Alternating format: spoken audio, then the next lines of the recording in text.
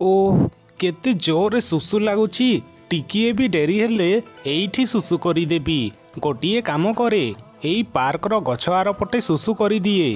ପୁଣି ନିର୍ମଳା ଗଛ ଆର ପାଖେ ଶୁଶୁ କରିବାକୁ ବସିଗଲା। ଆଉ ଯେପରି ସେ ଆଖି ଖୋଲିଲା ତା ବିଛଣା ଅଦା ହୋଇଯାଇଥିଲା। ପ୍ରକୃତରେ ନିର୍ମଳା ସ୍ୱପ୍ନ ଦେଖୁଥିଲା। ହେ ରାମ ଏବେ କ'ଣ କରିବି? ଯଦି ସେ ଉଠିଗଲେ ମୋ ବିଷୟରେ କ'ଣ ଭାବିବେ? ଗୋଟିଏ କାମ କରେ ଚୁପଚାପ ଶୋଇପଡ଼େ ସକାଳ ହେବା ପରେ ଶୁଖି ଯାଇଥିବ। ଏହା କହି ନିର୍ମଳା ଶୋଇପଡ଼ିଲା। ସକାଳ ହେବା ପରେ ରହନର ଆଖି ଖୋଲିଲା ଆଉ ତାକୁ ଶୁଶୁର ଗନ୍ଧ ଆସିଲା। ଓ ଏ ଶୁଶୁ ପରି ଗନ୍ଧ ଆମ ରୁମ୍ରୁ କିପରି ଆସୁଛି? ନିର୍ମଳା କହିଲା ମୋତେ ଜଣା ନାହିଁ ହୋଇପାରେ ଏସବୁ ଡଗିର କାମ। ଡଗି ରହନର ପୋଷା କୁକୁର ସେ ତାକୁ ବହୁତ ଭଲ ପାଏ। କିନ୍ତୁ ନିର୍ମଳା ତାକୁ ପସନ୍ଦ କରେ ନାହିଁ। ତେଣୁ ସେ ସବୁ ଦୋଷ ଡଗି ଉପରେ ଲଦିଦିଏ ଆଉ ଆଜି ବି ସେ ଏପରି କଲା। ରହନ ରାଗରେ ଡଗିକୁ ବହୁତ ଗାଳି କଲା। ପୁଣି ରହନ ଗାଧୋଇବାକୁ ଚାଲିଗଲା। ତେବେ ନିର୍ମଳା ନିଜକୁ ନିଜେ କହିଲା ପିଲାଦିନରୁ ଏ ରୋଗ ମୋର ଅଛି। ବିଛଣାରେ ହିଁ ଶୁଶୁ କରିଦିଏ। ବାହାଘରର ଦୁଇ ମାସ ହୋଇଛି। ମୋତେ କିଛି କରିବାକୁ ପଡ଼ିବ। ନହେଲେ ଏସବୁ ବିଷୟରେ ମୋ ସ୍ୱାମୀ ଜାଣିଯିବେ। ଗୋଟିଏ ଦିନ ନିର୍ମଳା ଦିନରେ ଖାଇକି ଶୋଇପଡ଼ିଲା। ଆଉ ସେ ପୁଣି ଥରେ ବିଛଣାରେ ଶୁଶୁ କରିଦେଲା। ଯେତେବେଳେ ତାର ଆଖି ଖୋଲିଲା ଓହୋ ଯେଉଁଥିପାଇଁ ଭୟ କରୁଥିଲି ତାହା ହିଁ ହେଲା। ତେବେ ତାହାର ଶାଶୁ ଶାନ୍ତି ଆସିଲା। ଆଉ କହିଲା ବହୁ ଏପରି ଗନ୍ଧ କେଉଁଠୁ ଆସୁଛି? ହେ ଭଗବାନ ଏ ବିଛଣାରେ ଶୁଶୁ କରିଦେଇଛି। ଛି ଛି ଛି। ନିର୍ମଳା କହିଲା ମା ଏଠାକୁ ଡଗି ଆସିଥିଲା ନା ନିଶ୍ଚୟ ତାହାର ହିଁ କାମ। ଶାନ୍ତି କହିଲା ତୁ ଠିକ୍ କହୁଛୁ ମୁଁ ତ ରହନକୁ ବହୁତ ବୁଝେଇଥିଲି ତାକୁ ଘରକୁ ଆଣ ନାହିଁ ଏବେ ଦେଖ। ନିର୍ମଳା କହିଲା ଆପଣ ଚିନ୍ତା କରନ୍ତୁ ନାହିଁ ମା ମୁଁ ସଫା କରିଦେଉଛି। ନିର୍ମଳା ପୁଣି ଥରେ ସବୁ ଦୋଷ ଡଗି ଉପରେ ଲଦିଦେଲା। ପୁଣି ନିର୍ମଳା ଚାଦର ବଦଳେଇ ଦେଲା କିନ୍ତୁ ଏବେ ବି ତାକୁ ସମସ୍ୟାର ସମାଧାନ ମିଳୁନଥିଲା। ତେବେ ତାକୁ ଗୋଟିଏ ଆଇଡ଼ିଆ ଆସିଲା। ଆରେ ମୋତେ ଏ ଆଇଡ଼ିଆ ଆଗରୁ କାହିଁକି ଆସିଲାନି? ମୁଁ ଆଜି ବଜାରରୁ ଡାଇପର କିଣିକି ଆଣିବି। ପୁଣି ନିର୍ମଳା ଡାଇପର ବଜାରରୁ କିଣିକି ଆଣିଲା। ଆଉ ରାତିରେ ଆରାମରେ ଶୋଇଲା। ଆଗ ଦିନ ଯେତେବେଳେ ରହନ ଅଫିସ ଯିବା ପାଇଁ ଆଲମାରି ଖୋଲିଲା ସେଠାରେ ଥିବା ଡାଇପର ଦେଖିଲା। ଆଉ ସେ ନିର୍ମଳାକୁ ପଚାରିଲା ଆରେ ନିର୍ମଳା ଏ ଡାଇପର କାହାର? ନିର୍ମଳା କହିଲା ଏହା ଡଗି ପାଇଁ ଆଜିକାଲି ସେ ଘର ସାରା ଆସନା କରୁଛି ନା। ସେ ତାର ସ୍ୱାମୀକୁ ସବୁ କଥା କହୁଥିଲା। ସେଠାକୁ ଶାନ୍ତି ଆସିଗଲା। ଆଉ କହିଲା ହଁ ହଁ ସେ ଠିକ୍ କହୁଛି। ଆରେ କାଲି ସେ ତୁମ ବିଛଣାରେ ଶୁଶୁ କରିଦେଇଥିଲା। ରହନ କହିଲା ଡଗି ଏସବୁ କ'ଣ ସତ? ନିର୍ମଳା କହିଲା ଆପଣ ତାକୁ କ'ଣ ପଚାରୁଛନ୍ତି? ସେ କ'ଣ କହିପାରିବ? ରହନ କହିଲା ହୋଇପାରେ ସେ କହିପାରିବନି। କିନ୍ତୁ ମିଛ କହିବନି ଏ କ'ଣ ମଣିଷ କି? ଏହିପରି ନିର୍ମଳା ଏବେ ପ୍ରତିଦିନ ଡାଇପର ପିନ୍ଧେ ଆଉ ସକାଳେ ଘର ପଛ ପାଖେ ନାଳରେ ଫିଙ୍ଗିଦିଏ କିନ୍ତୁ ଗୋଟିଏ ଦିନ ବହୁତ ଜୋରରେ ପବନ ବହୁଥାଏ। ନିର୍ମଳା ଯେପରି ଡାଇପର ଫିଙ୍ଗିଲା ତାହା ଜଣେ ପଡ଼ୋଶୀଙ୍କ ମୁଣ୍ଡରେ ପଡ଼ିଲା। ସେ ପଡ଼ୋଶିଣୀଙ୍କ ନାଁ ଥିଲା କମଳା। ତାହାର ନିର୍ମଳା ଶାଶୁ ସହ ଜମାରୁ ପଡ଼ୁନଥିଲା ଆଉ ସେ ଡାଇପର ଦେଖି ରାଗିଗଲା। ଆଉ ଶାନ୍ତିର ଘରକୁ ଯାଇ ଶାନ୍ତିକୁ କହିଲା ଶାନ୍ତି ତତେ କ'ଣ ଲାଗିଲା? ତୁ ମୋ ଉପରେ ଡାଇପର ଫିଙ୍ଗିବୁ ଆଉ ମୁଁ ଚୁପ୍ ରହିବି? ଶାନ୍ତି କହିଲା ଆରେ ମୁଁ କ'ଣ ପାଇଁ ଡାଇପର ଫିଙ୍ଗିବି? ଏସବୁ ଆମ ଡଗିର କାମ। ନିର୍ମଳା କହିଲା ହଁ ହଁ ଏହା ନିଶ୍ଚୟ କୁକୁରର କାମ। କମଳା କହିଲା ମୋତେ କ'ଣ ପକ୍କି ଭାବିଛ? ଗୋଟିଏ କୁକୁର କ'ଣ ଡାଇପର ଫିଙ୍ଗି ପାରିବ? ମୁଁ ଏବେ ପୋଲିସ ଷ୍ଟେସନରେ ତୁମ ନାଁରେ କମ୍ପ୍ଲେନ୍ କରିବି। ଏତିକି କହି କମଳା ସେଠାରୁ ସିଧା ପୋଲିସ ଷ୍ଟେସନ ଗଲା। କିଛି ସମୟ ପରେ ପୋଲିସ ତାଙ୍କ ଘରେ ପହଞ୍ଚିଲା।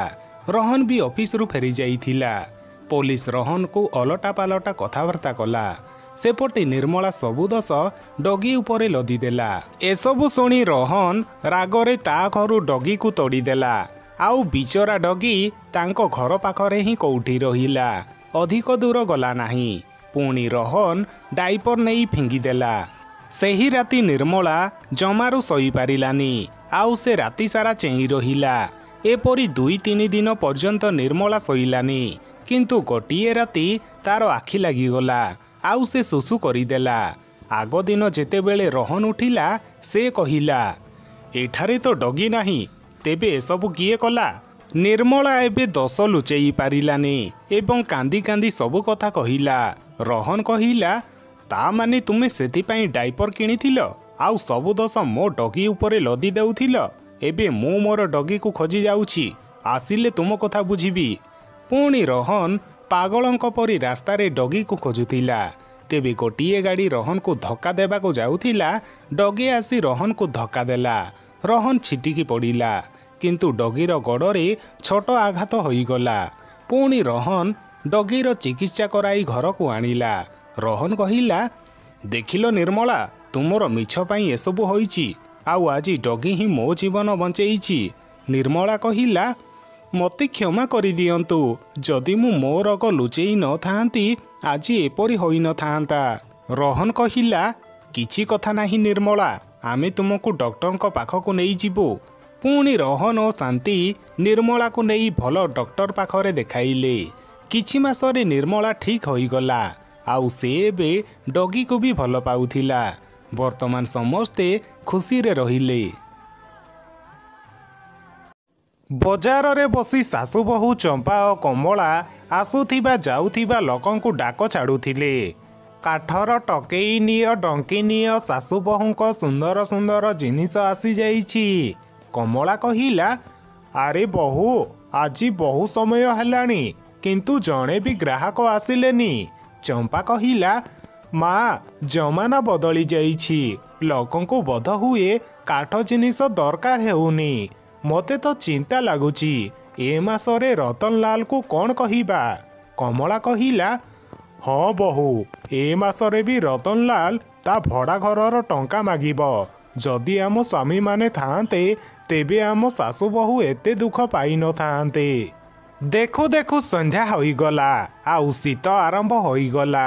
ଶେଷରେ ହତାଶ ହୋଇ ଦୁଇ ଶାଶୁ ବୋହୂ ଘରକୁ ଆସିଲେ। ସେମାନଙ୍କୁ ଦେଖି ଦୁଇ ଝିଅ ଡିମ୍ପଲ ଓ ସୁଇଟି ଦୌଡ଼ି ଆସିଲେ। ଡିମ୍ପଲ କହିଲା ମା ତୁମେମାନେ ଆସିଗଲ? ଆମ ଜିଲେବି କାହିଁ? ସକାଳେ ତୁମେ କହିଥିଲ ସନ୍ଧ୍ୟାରେ ନେଇ ଆସିବି। ଚମ୍ପା କହିଲା ଡିମ୍ପଲ ଆଜି କିଛି ବି ରୋଜଗାର ହୋଇନି। ଏହା କହି ଚମ୍ପା ଆଖିରେ ଲୁହ ଆସିଗଲା। ପୁଣି ଚମ୍ପା ଯାଇ ରୋଷେଇ କଲା। ଆଉ ତାର ଶାଶୁକୁ ଆସି କହିଲା ମା ଚାଲନ୍ତୁ ଖାଇବେ। କମଳା କହିଲା ବୋହୂ ଏତିକି ରୋଷେଇରେ କ'ଣ ସମସ୍ତଙ୍କ ପେଟ ଭରିବ? ଗୋଟିଏ କାମ କର ଡିମ୍ପଲ ଆଉ ସୁଇଟିକୁ ଖାଇବା ଦେଇଦେ। ଆମେ ସେପରି ଭୋକରେ ରହିଯିବା। ଚମ୍ପା ତାର ଦୁଇ ଝିଅଙ୍କୁ ଖାଇବା ଦେଲା। ଆଉ ଦୁଇ ଶାଶୁ ବୋହୂ ପାଣି ପିଇକି ଶୋଇପଡ଼ିଲେ। ସମୟ ଅନୁସାରେ ଘରର ମାଲିକ ରତନଲାଲ ଆସିଲା। ଆଉ କହିଲା ଦୁଇ ମାସ ହେଲାଣି ତୁମ ଶାଶୁ ବୋହୂ ଭଡ଼ା ଦେଇନ। ବାସ୍ ଆଜି ତୁମେମାନେ ମୋ ଘର ଖାଲି କରି ଚାଲିଯାଅ। କମଳା କହିଲା ରତନଲାଲ ଟିକିଏ ତ ଦୟା କର। ଏ ଶୀତ ଦିନରେ ଦୁଇଟି ଛୁଆଙ୍କୁ ନେଇ ଆମେ କୁଆଡ଼େ ଯିବୁ? ରତନଲାଲ କହିଲା ମୁଁ ସେସବୁ କିଛି ଜାଣିନି। ଶୀଘ୍ର ମୋ ଘର ଖାଲି କର। ଗରିବ ଶାଶୁ ବୋହୂ କାନ୍ଦି କାନ୍ଦି ଘରୁ ବାହାରିଗଲେ ସେମାନେ ଏହିପରି ଗୋଟିଏ ଜଙ୍ଗଲରେ ପହଞ୍ଚିଗଲେ। ସୁଇଟି କହିଲା ଜେଜେମା ମୋତେ ଭୋକ ଲାଗିଲାଣି ଆଉ ଶୀତ ବି ଲାଗୁଛି କମଳା କହିଲା ବୋହୂ ଏବେ କ'ଣ କରିବା? ଦୁଇ ଝିଅଙ୍କୁ ଭୋକ ଲାଗିଲାଣି ଆମ ପାଖରେ ଏବେ କିଛି ବି ନାହିଁ। ଚମ୍ପା କହିଲା ମା ଦେଖନ୍ତୁ ଏଇ କାଠ ହିଁ ଆମର ସାହାରା ହେବ। ଯଦି ଆମେ କାଠରେ ବିଭିନ୍ନ ଜିନିଷ ତିଆରି କରିପାରୁଛନ୍ତି ତେବେ କ'ଣ ଆମେ କାଠରେ ଘରଟିଏ ତିଆରି କରିପାରିବାନି? କମଳା କହିଲା ବୋହୂ କାଠରେ ଘର ତିଆରି ପାଇଁ ସମୟ ଲାଗିବ। ସେ ପର୍ଯ୍ୟନ୍ତ ଆମେ ଶୀତରେ କ'ଣ କରିବା? ଚମ୍ପା କହିଲା ମା ଆମେ ସେହି ବୁଦାମାନଙ୍କରେ ରହିଯିବା। ଆଉ ମୁଁ ଘରୁ କିଛି ଖାଇବା ବାନ୍ଧିକି ଆଣିଥିଲି। ପୁଣି ଏପରି ଆଗ ଦିନ ଦୁଇ ଶାଶୁ ବୋହୂ ଘର ତିଆରିରେ ଲାଗିଗଲେ। ଏହିପରି କିଛି ଦିନରେ ଶାଶୁ ବୋହୂ କାଠର ଘର ତିଆରି କରିଦେଲେ। ଆଉ ସେମାନେ ଧୀରେ ଧୀରେ ଏପରି ଆହୁରି କିଛି କାଠର ଘର ତିଆରି କଲେ। ଜଙ୍ଗଲକୁ ଆସୁଥିବା ଲୋକେ ଏବେ ସେହି ଘରେ ରହି ଜଙ୍ଗଲର ମଜା ନେଉଥିଲେ ଏବଂ ତା ବଦଳରେ ଶାଶୁ ବୋହୂଙ୍କୁ ଟଙ୍କା ଦେଇ ଚାଲି ଯାଉଥିଲେ ଏପରି ତାଙ୍କର ସେହି କାଠର ଘର ରୋଜଗାରର ମାଧ୍ୟମ ହୋଇଗଲା।